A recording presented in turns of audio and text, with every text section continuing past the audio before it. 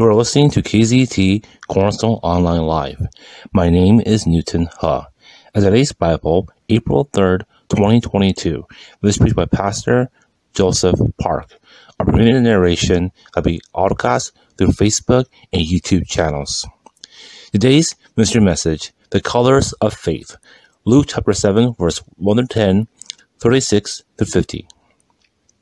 After Jesus had finished teaching all this to the people, he entered Capernaum. A centurion there had a slave who was highly regarded, but who was sick at the point of death. When the centurion heard about Jesus, he sent some Jewish elders to him, asking him to come and heal his slave. When they came to Jesus, they urged him earnestly, He is worthy to have you do this for him because he loves our nation and even built our synagogue. So Jesus went with them. When he was not far from the house, the centurion sent friends to say to him, Lord, do not trouble yourself, for I am not worthy to have you come under my roof. That is why I did not presume to come uh, to you. Instead, say the word, and my servant must be healed. For I too am a man set under authority, with soldiers under me. I say this to one, Go, as he goes into another. Come, and he comes, into my slave. Do this, he does this. When Jesus heard this, he was amazed at him. He turned and said to the crowd that followed him, I tell you, not even in Israel have I found such faith. So when those who had been sent returned to the house, they found the slave well. Now one of the Pharisees asked Jesus to have dinner with him. So he went into the Pharisee's house and took his place at the table. Then, when a woman of that town, who was a sinner, learned that Jesus was dining at the Pharisee's at Pharisee's house, she brought an alabaster jar of perfumed oil. As she stood behind him at his feet, weeping, she began to wet his feet with his tears. She wiped them with his hair, kissed them, and anointed them with the perfumed oil. Now, when the Pharisees who had invited him saw this, he said to himself, If this man were a prophet, he would know who and what kind of woman this is who is touching him, that she is a sinner. So Jesus answered him, Simon, I have something to say to you. He replied, Say it, teacher. A certain creditor had two debtors. One owed him five hundred silver coins, the other fifty. When they could not pay, he canceled the, the debt of both. which one of them, which of them will love him more? Simon answered, I suppose the one who had the bigger debt cancels. Jesus said to him, You have judged rightly. Then turning toward the woman, he said to Simon, Do you see this woman? I entered your house. You gave me no water for my feet, but she was but she has wet my feet with tears and wiped them with her hair. You gave me no kiss of greeting but from the time I entered, she has not stopped kissing my feet. You did not anoint my head with oil, but she has anointed my feet with perfumed oil. Therefore I tell you, her sins, which were many, are forgiven. Thus she loved much, but the one who is forgiven loves little. Then Jesus said to her, Your sins are forgiven. But those who were at the table with him began to say among themselves, Who is this? Who even forgives sins? He said to the woman, Your faith has saved you. Go in peace.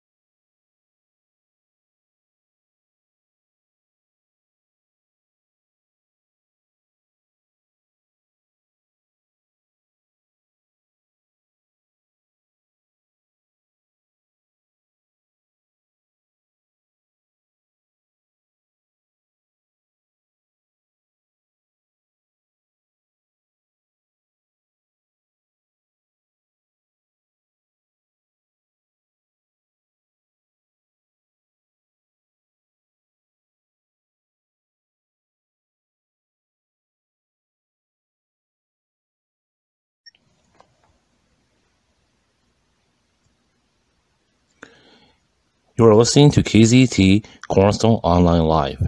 My name is Newton Huh. As today's Bible, April 3rd, 2022, this preached by Pastor Joseph Park. Our permitted narration will be autocast through Facebook and YouTube channels. Today's mystery message, The Colors of Faith. Luke chapter 7, verse 1 to 10, 36 to 50. After Jesus had finished teaching all this to the people, he entered Capernaum. A centurion there had a slave who was highly regarded, but who was sick and at the point of death. When the centurion heard about Jesus, he sent some Jewish elders to him, asking him to come and heal his slave. When they came to Jesus, they urged him earnestly, He is worthy to have you do this for him because he loves our nation and even built our synagogue. So Jesus went with them. When he was not far from the house, the centurion sent friends to say to him, Lord, do not trouble yourself, for I am not worthy to have you come under my roof. That is why I did not presume to come uh, to you. Instead, say the word, and my servant must be healed. For I too am a man set under authority, with soldiers under me. I say this to one, Go, as he goes into another. Come, and he comes, into my slave. Do this, he does this. When Jesus heard this, he was amazed at him. He turned and said to the crowd that followed him, I tell you, not even in Israel have I found such faith. So when those who had been sent returned to the house, they found the slave well. Now one of the Pharisees asked Jesus to have dinner with him. So he went into the Pharisee's house and took his place at the table. Then, when a woman of that town, who was a sinner, learned that Jesus was dining at the Pharisee's at Pharisee's house, she brought an alabaster jar of perfumed oil. As she stood behind him at his feet, weeping, she began to wet his feet with his tears. She wiped them with his hair, kissed them, and anointed them with the perfumed oil. Now, when the Pharisees who had invited him saw this, he said to himself, If this man were a prophet, he would know who and what kind of woman this is who is touching him, that she is a sinner. So Jesus answered him, Simon, I have something to say to you. He replied, Say it, teacher. A certain creditor had two debtors. One owed him five hundred silver coins, the other fifty. When they could not pay, he canceled the, the debt of both. which one of them, which of them will love him more? Simon answered, I suppose the one who had the bigger debt cancels. Jesus said to him, You have judged rightly. Then turning toward the woman, he said to Simon, Do you see this woman? I entered your house. You gave me no water for my feet, but she was but she has wet my feet with tears and wiped them with her hair. You gave me no kiss of greeting, but from the time I entered, she has not stopped kissing my feet. You did not anoint my head with oil, but she has anointed my feet with perfumed oil.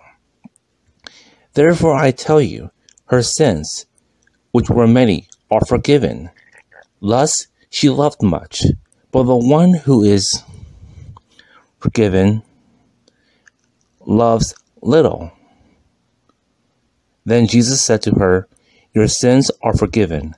But those who were at the table with him began to say among themselves, Who is this? Who even forgives sins? He said to the woman, Your faith has saved you. Go in peace.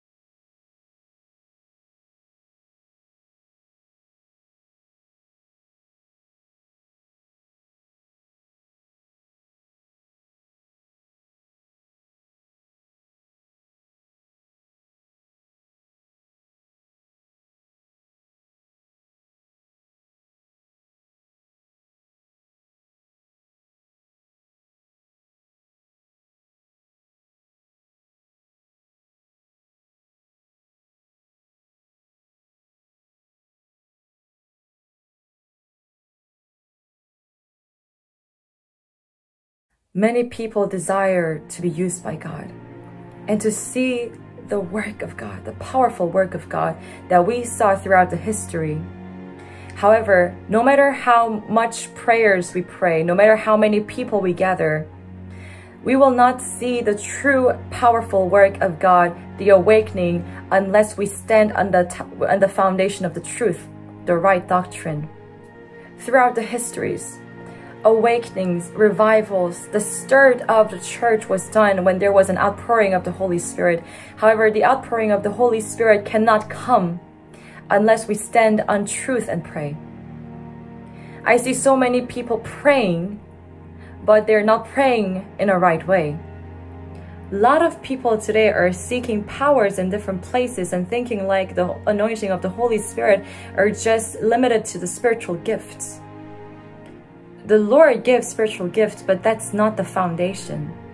The prosperity gospel can never bring a genuine awakening. It will not change a person's life when the awakenings happened, when the genuine revival happened, people's lives were changed because the right gospel was preached. The reason why I've not been uploading videos recently is because I've been studying Puritan theologies, Reformed theologies, and the history of the early church and the early awakenings and the revivals. And when you study these things, you will understand why the church today has lost the spiritual power.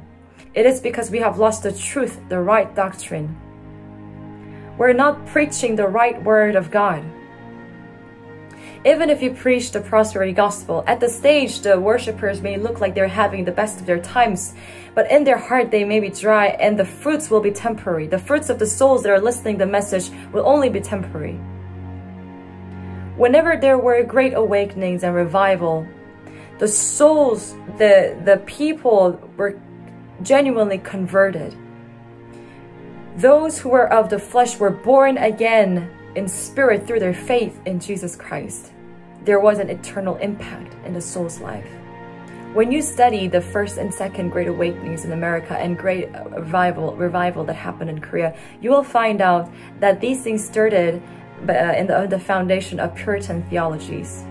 If you want to see a genuine outpouring of the Holy Spirit, we must go back to the messages that they preached to the people. They didn't preach other things. They didn't preach something that would inspire your souls or your daily life. What they preached was the gospel, just the gospel itself. Their prayers were not based on their work. Their prayers were not to rely on human wisdom. They prayed because they knew they have no righteousness. They were just sinners who were saved before God. They knew that the work of God can only be done when we rely on the Lord. So their prayers were not boasting their strength or anything, asking for some kind of extra power to impress people. Their prayers was focused on, uh, uh, on the Lord, on the power of the Lord. That God would intervene in the dark times like this. And when people prayed on the right foundation and preached the right gospel, God always intervened. The darkness we see in these times is because we are lacking in truth. I, I see people preaching the gospel, but it's not the gospel. Some people preach work-based salvation and some people preach prosperity gospel. But when an awakening or a work of God was done, God used those who are very aware of what the gospel is. They were people who studied the theology very, very deeply. They knew how to discern the wrong teachings and the right teachings. If you want to pray a prayer that's anointed by the Holy Spirit, I ask you, do not seek for anything else, but go before the Lord and study the gospel. First, let the gospel be made right to you. Are you really born again? Do you only proclaim the righteousness of Christ before God or your work? Do you recognize that you are a hopeless sinner? Without God's grace, you'll be gone. Before asking God to give you some powers and gifts to impress people, go to the Lord and see who you are before Him and see what He has done for you. Let the Holy Spirit overwhelm you. And rule over you that you may be subject to Christ. This is all God's grace and God's doing. The power of the Holy Spirit is an exaltation of Jesus Christ. I know you're hungry and thirsty. Study the Word. And I suggest some people who want to go deeper to study Puritan theologies, the early histories of revival and awakenings. God loves you, and He will finish the good work that He started in you. I'll see you soon.